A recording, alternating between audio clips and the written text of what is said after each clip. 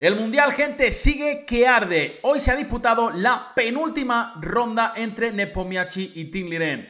Antes de esta ronda número 13, el marcador de 6 a 6, una igualdad máxima. Y hoy Nepomiachi tenía que salir con las piezas blancas para ver si era capaz de recuperarse de ese golpe recibido en el día de ayer. La partida no ha defraudado como de costumbre. Mi nombre es Pepe Cuenca y te invito a seguir lo que ha sucedido en las 64 casillas entre este par de cracks.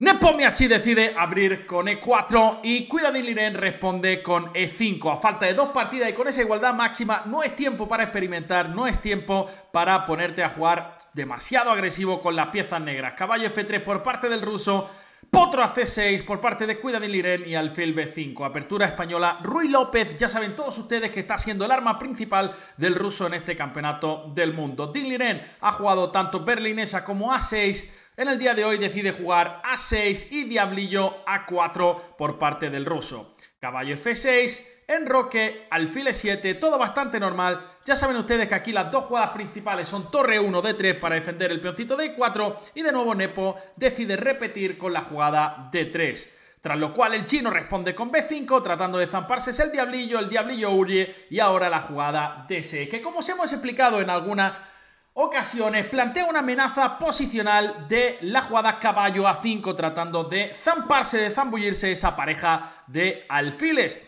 Es por eso que aquí hay tres jugadas razonables, la jugada A3, la jugada A4 o la jugada C3 y todas ellas lo que pretenden es darle una casilla de escape al alfil tras ese caballo A5, la casilla A2 o la casilla C2. En la partida anterior, Nepomiachi jugó a3, hoy decide sorprender con la variante principal C3. Y como decimos, la idea principal es que ahora el alfil tiene ahí una mesa camilla, ¿verdad? Con estufa para eh, reguardarse. Las negras juegan en roque y ahora por supuesto estas eh, posiciones son demasiado flexibles. Hay muchas ideas para las blancas. La jugada caballo BD2, la jugada A4, la jugada H3, torre 1. Normalmente el caballito en este tipo de estructura tiene eh, esta ruta del bacalao para dirigirse a la casilla G3. Pero en el día de hoy Nepomiachi juega H3, una jugada que está dirigida normalmente a evitar un posible alfil G4 y sobre todo a evitar un posible caballo G4 en caso de que el diablillo se coloque en la casilla E3. Tras alfil B7, ya Nepomiachi realiza esta variante muy secundaria con alfil E3. Hay que decir que, como digo, los planes principales suelen estar relacionados con colocar la torre N1, el caballo en G3 y un eventual D4 para tratar de ganar un poquito de espacio en el centro del tabuleiro, ¿verdad? Alfil E3, como decimos, por parte de Nepo y caballo A5. Uno puede pensar, Pepe, ¿no me has dicho siempre pedazo de cierra bares, pedazo de feo? ¡Callo, que eres un callo! Que los caballos tienen que ir al centro del tablero. Sí, pero en esta ocasión las negras ganan un tiempo atacando un alfil que no quieres perder, porque como hemos dicho muchas veces la pareja alfil es muy importante, y tras alfil C2, las negras lo que pretenden es ganar espacio en el flanco de dama con la jugada C5. En el futuro probablemente este caballo volverá a Navidad a comerse, a casita Navidad, por Navidad a comerse el turrón.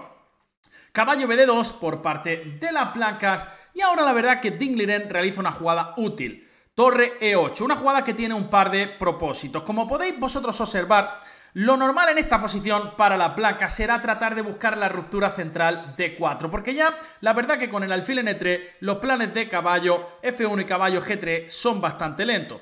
Entonces, esto es una jugada de profilaxis, ¿por qué? Porque las negras están anticipando a la posible apertura de la columna E. Una vez que se abra la columna E, la torre va a meter presión sobre el peón de E4 junto con el caballo, junto con el alfil, una vez que el alfil se retire a la casilla F8.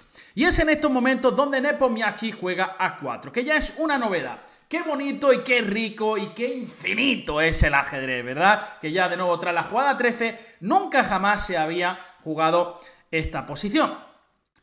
La idea de la blancas, ¿cuál es? Bueno, uno podría pensar si aquí le, tiemblan un poco las piernas y ya quiere eh, solventar el tema en el flanco de dama, uno podría pensar en jugar B4, pero la realidad es que tras peón por y caballo B3, una jugada bastante temática en este tipo de posiciones, las negras tienen que tener un poquito de cuidado tras caballo por B3. Alfil por B3, fijaos en este pedazo de diablillo, es un diablillo que va respirando aire puro por la calle, es un diablillo que se va moviendo con sus pantalones fila por la calle, ¿verdad? Saludando a todo el mundo así, mirándolos por encima, como si fuera el rey de Mbambo, como si fuera The King of the Dance Floor. Sin embargo, este diablillo de B7 pues un poquito más brocoliano, porque de momento las blancas aquí tienen eh, una estructura realmente potente contra el alfil de B7.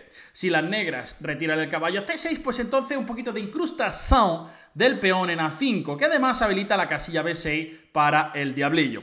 Ligerita ventaja blanca. Es por eso que tras la jugada A4, Dingliren juega H6. Una jugada también de profilaxis y es que la idea de las negras tras alfil F8 es evitar que las blancas puedan venir clavando ese caballito de F6 y que puede ser bastante molesta esa clavada.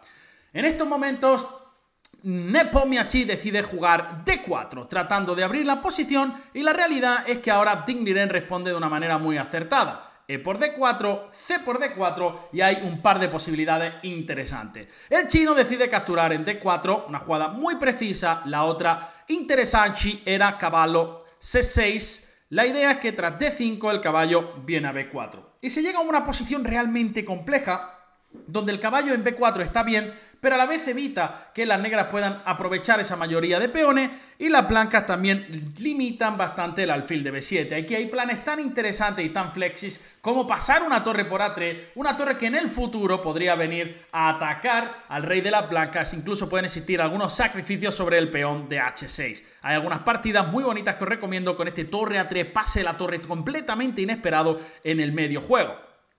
Sin embargo, Din opta por la jugada más natural, C por D4, y ahora realiza la jugada más precisa el chino, caballo C4. Y uno podría pensar, oye Pepe, deja de contarme milongas, callo que eres un callo. ¿Qué pasa? What to do if white takes on B5 now? Bueno, el tema es que las negras capturan N3 y se llega a una posición donde la estructura de la placa está completamente reventada. Como pueden ustedes ver, pareja de alfiles, peón N3, Ausencia de alfil de casillas negras, esto no es buen negocio para la blanca. Si caballo por B5, van a existir ideas, por ejemplo, con torre por A1, dama por A1 e incluso T5, tratando de reventar la posición, tratando de darle diagonales a los dos mejores cuchillos del teletienda de las negras, la pareja de diablillos.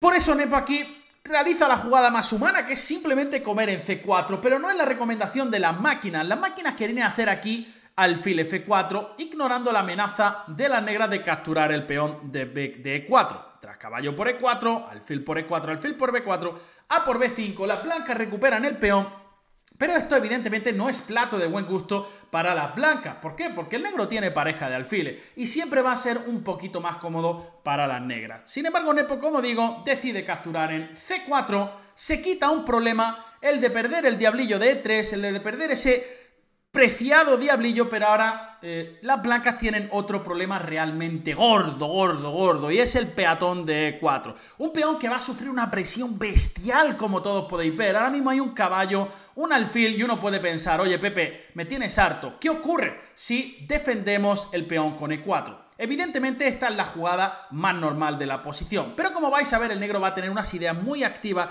relacionadas con golpear en el centro con D5. La jugada de máquina aquí era dama e2, una jugada realmente difícil para un humano. ¿Por qué? Porque tras torre c8, ¿verdad? Que defiende el peón de c4, ahora la dama queda expuesta en esta columna que realmente las negras van a tratar de abrir de igual manera. Por ejemplo, tras f3, alfil f8, la amenaza es clara. Sin embargo, como digo, las máquinas, nuestros amigos de silicio, encuentran una manera de igualar para las blancas. La verdad que una manera de igualar más difícil que ponerle o que tejerle un abrigo a un pulpo, por ejemplo. Caballo F5, D5 parece muy fuerte, pero aquí las blancas quieren jugar simplemente torre de 1 y tras dama C7 alfil de 4 y también las blancas tienen algunos temas tácticos en F6 y en H6 y consideran que la posición está igualada. Nepo, sin embargo, realiza la jugada más humana. ¿Cuál es la jugada más humana? ¿Tú me atacas un peón? Pues yo lo defiendo. Pachulo tú, pachulo yo. F3. El Facum para resolver los problemas. Facundovsky. Ya sabéis que siempre viene para resolver los problemas, en este caso defendiendo el peón de E4. La realidad es que tras alfil F8, la posición de las blancas es muy, muy, muy peligrosa. ¿Por qué? Porque el negro está reaccionando con D5. El alfil D3 está en tengerengue, ¿verdad? Es un alfil que no está protegido y por tanto D5 es una amenaza posicional muy fuerte. Nepo en la rueda de prensa explicó que su primera idea era jugar alfil F4 y contra D5 E5. ¿Qué es lo que ocurre? Que el negro va a atacar de una manera brutal el peón de E5, con la jugada caballo D7 y tras torre 1, por ejemplo, dama C7. La verdad que las blancas tienen grandes problemas para defender el peón de E5. Si dama E2 el alfil viene a C5, clavandibri sobre el caballo de D4 y realmente parece ser que va a caer el peón de E5. Es por eso que Nepo en esta ocasión recula y eh, decide eh, llegar a una posición donde va a tener que defenderse ya con las piezas blancas. Un fracaso después de la jugada 18, estar ya bastante peor con piezas blancas. Alfil F2 por parte del ruso y Tingliren rompe en el centro con la jugada de 5, abriendo de nuevo diagonales para esos cuchillos que empiecen a cortar jamón serrano por todos lados. E por D5 y caballo por D5. De nuevo, fijaos qué bien funciona hasta el fil, qué bien funciona hasta el fil, llegando a diagonales importantes. Cuántas debilidades tiene el blanco, sobre todo en casillas negras en esta posición. Y es que hay una amenaza importante. De nuevo, digamos que el negro hace una jugada estúpida como rey h1, por ejemplo, una jugada como caballo e3. Ya las debilidades en casillas negras se, serían bastante evidentes. Es por eso que Buen jugador, Nepo Miachi, uno de los mejores del mundo. Por supuesto, juega alfil e4, jugada que no solamente evita caballo e3 porque se interpone entre la torre y la casilla de 3, sino que también le dice al caballito de 5, oye, Pimpollo, que yo también te voy a clavar a ti, ¿eh? que como te descuides, cuidado, porque no puedes moverte porque el alfil de B7 está en el aire. Y en este momento Tingliren se mete una pensada realmente grande, de casi una media hora, si no me equivoco, y realiza una jugada bastante extraña. La mejor jugada de la negra era simplemente torre B8. Una jugada que defiende el alfil de B7 que prepara un posible salto del caballo F4. De hecho, jugadas como torre 1, caballo F4 o caballo B4 ya son posibles, ¿verdad? Buscando la casilla de 3 porque el alfil de B7 está defendido. Ideas también de ataque a lo bestia, con dama G5 y caballo F4 buscando temas de mate. Sin embargo, Liren en la rueda de prensa dijo que esta posición sabía que estaba un poquito mejor con negras si las blancas deciden comer en D5, pero tampoco veía demasiado claro cómo incrementar la presión. Y de hecho es que no es tan evidente, tienes que ir poco a poco, ¿no? Eh, doblarte la columna B tal vez para presionar el peón de B2. Lo que sí está claro es que las negras están mejor.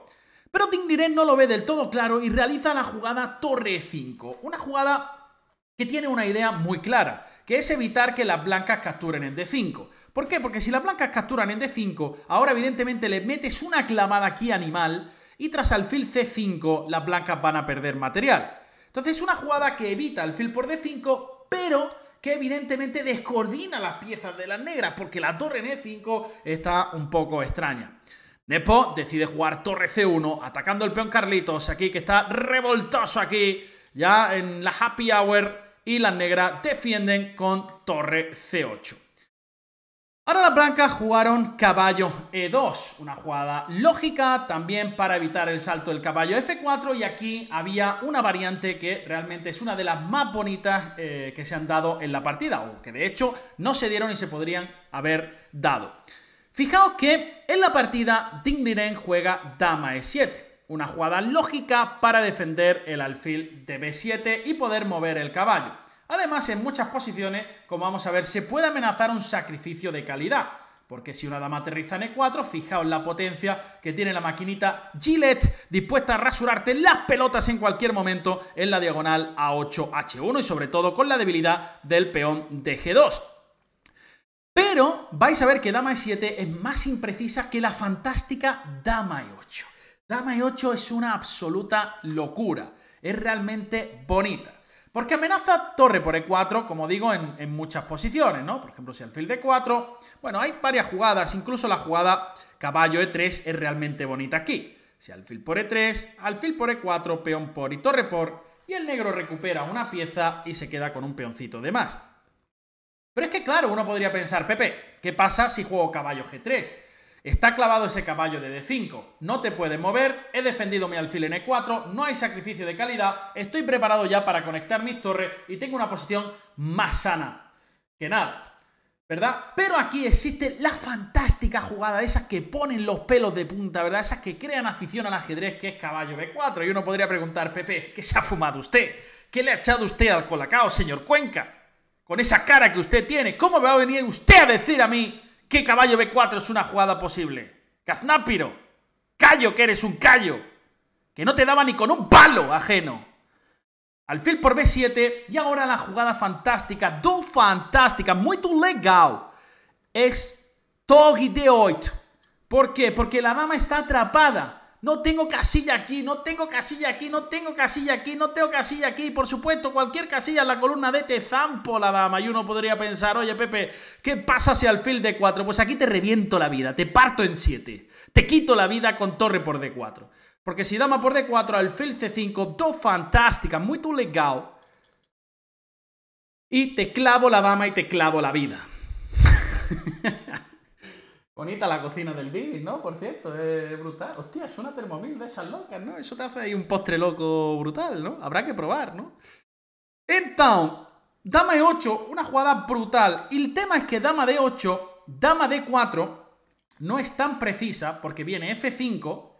Y claro, a las blancas le gustaría jugar alfil G3. Pero aquí vendría alfil C5. Es por eso que dama e8 es mucho más precisa que dama e7, que ahora sí permite la jugada precisa de Nepo dama d4. El tema es que evidentemente te estoy presionando el peón de c4. Y claro, si las negras juegan f5 como en la partida, que es de las mejores jugadas de la posición, ahora Nepo dispone de la jugada fantástica alfil g3 atacando la torre de e5.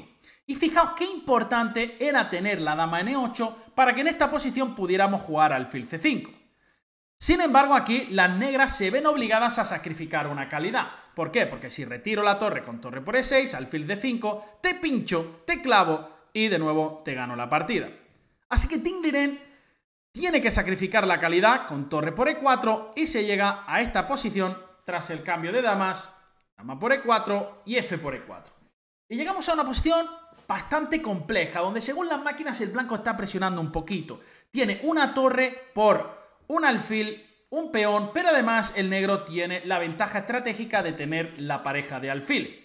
¿Ok? Eh, además, las piezas de la negra están muy activas, tiene un peón pasado que fácilmente, que fácilmente se puede proteger y además tiene la idea de meter un burro en D3. Si el burro llega a D3 va a taponar, ¿verdad? Que ni el abuelo giratorio va a poder desatacar el mojón que se ha creado en eh, los baños de D3 ¿verdad? Eso ni una botella de Coca-Cola ni el abuelo giratorio lo desatascan. Y eh, el abuelo giratorio es un desatascador, ¿eh? No penséis que, que es algo raro, ¿vale? es un desatascador, ¿eh? Cuidadillo con el abuelo giratorio. Y, entonces aquí Nepomniachtchi realiza una jugada de profilaxis contra caballo B4, que es torre de 1. La idea contra caballo B4 que se da en la partida es incrustar la torre en D7 atacando el alfil. Y la idea de las blancas cuando nos expulsen la torre de D7 va a ser cambiar una torre. Por supuesto, la posición de las blancas pierde, perdón, la posición de las negras pierde valor, ¿no? Eh, o el contrajuego de las negras pierde valor si desaparecen las dos torres. ¿Por qué? Porque el peón, el peón perdón, de C4 va a ser más fácilmente atacable. Las negras juegan un alfil C5, jugada intermierda, y ahora rey H2 por parte de Nepomniachtchi alfil C6 y fijaos que la torre no tiene casilla, la torre solo tiene la casilla C7. Es por eso que se dirige ahí el bueno de Jan Nepomniachtchi. Torre por C7, alfil por C7 y ahora la jugada alfil D5. El peón de C4 estaba atacado, así que decide defenderlo el jugador de negras, el chino. Cuidadín Liren, caballo C3, Atacando el alfil, caballo de 3, jugada intermierda. Atacando la torre, torre C2 para defender el peón de B2 y alfil C6. Y como podéis ver, la posición está bastante trabada. ¿No? ¿Por qué? Porque siempre hay un contrajuego brutal contra el peón de B2. Siempre que quito el caballo, el negro puede volver a defender el peón de, D5, de C4. La blanca juega en A5, una jugada interesante para poder optar por la eh, jugada alfil B6 en determinadas posiciones y venir a bloquear. Y el negro juega rey F7 activando el rey y trayéndolo al centro del tablero. Y las blancas juegan torre 2. Hay que decir que aquí las máquinas proponen la jugada caballo E2 y tras alfil de 5 caballo F4, pero ni siquiera esta posición deja de ser clara. Por ejemplo, E3, torre 2 y C3. Buena jugada. Y peón por alfil C4. Por supuesto, todos los finales de alfiles de distinto color son tabla. Y si torre B2, rey E6 y de repente, cuidado, que tú tienes calidad de más, pero yo tengo una ruta para eh, mi rey muy peligrosa. Si las blancas vienen con rey G1, siempre va a haber un E2 que te corono porque tengo un jaque. El rey está completamente fuera de la acción y eh, las negras tienen suficiente contrajuego. De hecho, las máquinas no lo ven claro a pesar de tener una calidad limpia de menos, pero qué importantes son los peones pasados. Por eso que Nepo Miachi aquí, en esta posición, decide jugar torre E2. Y ahora se llegó a una triple repetición. Caballo C1, torre 1, caballo D3 y torre 2 y repitieron. Hay que decir que aquí las negras disponían de una jugada súper interesante para incluso jugar a ganar a pesar de tener material de menos. Rey E6. Es cierto que el blanco no quiere comer. Y es cierto que el blanco si come, tampoco pasa nada. Pero tiene que tener mucho ojo. ¿Por qué? Porque tras rey de 5, torre 8, las negras capturan el peón de B2 y evidentemente tienen un peón pasado que es realmente peligroso. El rey activo, rey fuera. Parece ser que la posición siguen siendo tabla. Simplemente con esta repetición, rey de 5, torre de 8. El tema es que a rey de 5, si intentas alfil de 5, tengo alfil de 4. Y si intentas aquí rey de 3, ahora, perdón, contra el jaque de 8. Eh, en E8, rey de 3, ahora el file 5 es muy fuerte y contra C3 te van a acabar comiendo en G7 y en C3, después de un hack en D8, y las blancas van a estar presionando. Bueno, partida realmente tensa, eh, donde Nepo, tras esa derrota trágica en la anterior ronda, donde prácticamente se veía campeón del mundo, bueno, pues comete una serie de errores bastante graves y hoy tenía que venir a esta partida, bueno, con mucho cuidado, ¿verdad? Porque psicológicamente no se encontraba bien. Nos queda solamente una partida, chicos, que se disputará pasado mañana. El marcador es de 6 y medio a 6 y medio. Dinglinen con las piezas blancas. ¿Qué va a pasar? ¿Va a salir a morder? ¿Se va a conformar con los desempates que ya sabéis que comienzan con cuatro partidas semi rápidas al día siguiente? Pues no lo sé, chicos, pero el caso es que lo vamos a pasar realmente bien. Muchísimas gracias por darle tanto apoyo a estos vídeos resúmenes. Espero que lo estéis disfrutando. La idea es que sobre todo esa gente que no puede seguir las retransmisiones, bueno, pues eh, pueda disfrutar de este mundial de la misma manera. Y eh, mucha gente me lo pidió en el vídeo anterior. Mucha gente me pidió ver los cuadros de Pacaso, uno de los mejores artistas del panorama nacional e internacional. Así que os dejo con él y nos vemos en el próximo vídeo. Cuidado mucho, alejado del brócoli. Chao, chao, chao, chao, chao. Pacaso, dentro vídeo. Hola a todos, soy Paco Cuenca, alias Pacaso. Y bueno, con motivo del Mundial de Ajedrez entre Jan aquí y Cuidadil Lirén, mi hermano Pepe Cuenca me ha pedido que os enseñe un poco mi taller de aficionado a la pintura y bueno, nada, allá vamos y a ver cómo ha ido evolucionando. Este primer cuadro se titula Miradas de pandemia. Lo realicé durante el confinamiento más extremo que sufrimos durante la pandemia. Es por ello que refleja una mirada aterrorizada, con incertidumbre, reflejando ese miedo que tuvimos durante las primeras semanas de aquella época funesta. El siguiente se titula Bled y bueno, refleja un poco la nostalgia por la libertad de movimientos y evoca un viaje que realicé junto a mi esposa por Eslovenia y visitamos esta hermosa ciudad, Bled, y bueno, me recuerda tiempos mejores y más luminosos y divertidos. Los siguientes cuadros eh, van un poco de la mano y se titulan Carla y Lenny se van de fiesta. Estos dos cuadros reflejan las ganas de vivir, de encontrarnos con nuestros amigos, de viajar, de festejar y bueno, los hice después del confinamiento. Es por ello que en ambos los protagonistas sonríen y bueno, la verdad que a mí Lenny en particular me parece un gran cuadro. Y bueno, el último se titula Atardecer en Granada y representa la vuelta a los orígenes, ¿no? Tiene mayor técnica, mejor perspectiva, mucho color, sombreado y representa mi estabilidad actual viviendo en Madrid, donde llevo viviendo nueve años, pero siempre con nostalgia y morriña de mi adorada Granada. Bueno, sin más, espero que disfrutéis de este apasionante mundial entre Jan Neponiaki y Cuidadil Lirén. Y nada, como dijo Pablo Picasso, eh, yo no busco, yo encuentro. Y nada, hasta la próxima. Adiós, Pacasito.